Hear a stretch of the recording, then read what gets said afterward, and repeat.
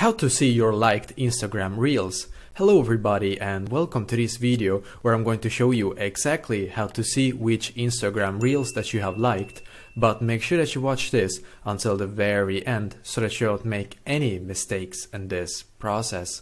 So what I'm going to do first is to go into my Instagram app and now when I'm on my Instagram app then I'm just going to find a random reel basically.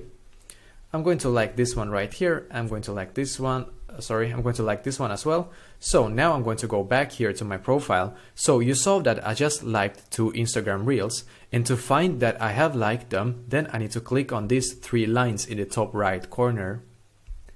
And now we need to click where it says your activity. Perfect. In here we need to click where it says interactions. And now click where it says likes and it's just going to load here for a bit. Basically, you will be able to find all of your likes in here and also Instagram Reels as well. And you can see that these two Reels that I just liked, they are in here as well. So you can see this one here and this one here. Perfect. So this is exactly how to find which Instagram Reels that you have liked.